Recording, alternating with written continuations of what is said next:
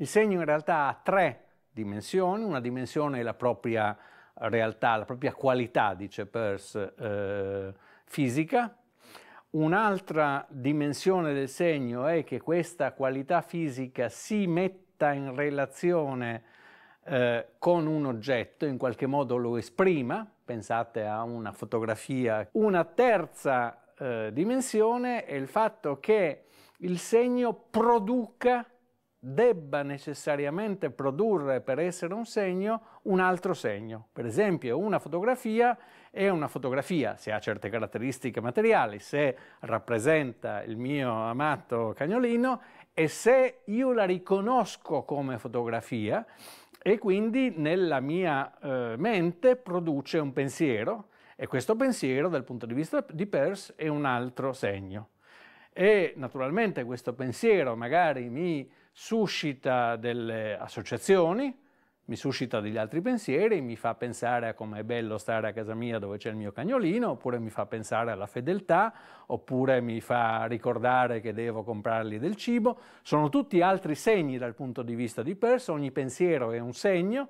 e in definitiva io stesso sono un segno per Peirce,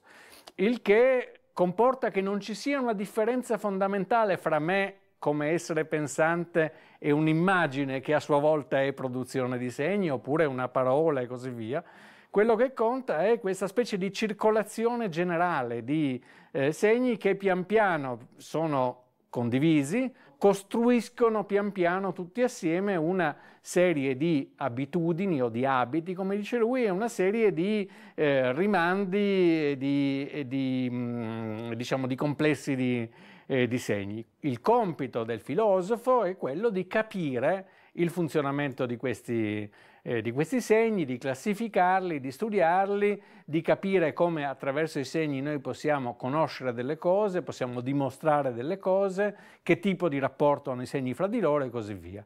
L'idea di Peirce è che il pensiero, la vita, eh, la realtà in qualche modo vada pensata come catene di segni, cioè come una eh, successiva germinazione di segni nuovi a partire dai segni vecchi e che a queste catene di segni si applichino le leggi della logica, eh, le progressive elaborazioni che portano al pensiero scientifico e così via.